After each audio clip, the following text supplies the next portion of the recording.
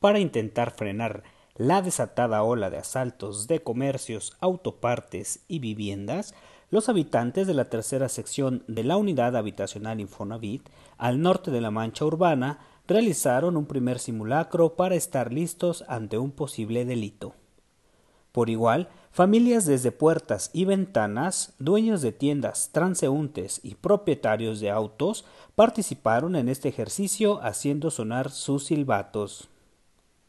Es la preparación de los vecinos de la tercera sección del Infonavit con este simulacro.